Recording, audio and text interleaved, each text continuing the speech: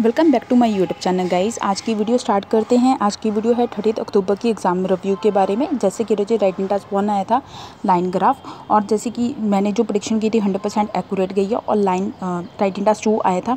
When new towns are placed it is more important to build public park और sport facility than sport centre for people to spend their free time to what extent do you agree और disagree ये writing task two का topic आया था।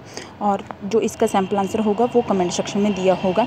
और साथ के साथ जो लिसनिंग का लेवल आया था, वो आया था ईजी और रीडिंग का लेवल आया था ईजी टू मॉडल और रीडिंग पैसेज के नेम कमेंट सेक्शन में दिए होंगे। And do subscribe to my YouTube channel guys and thank you for watching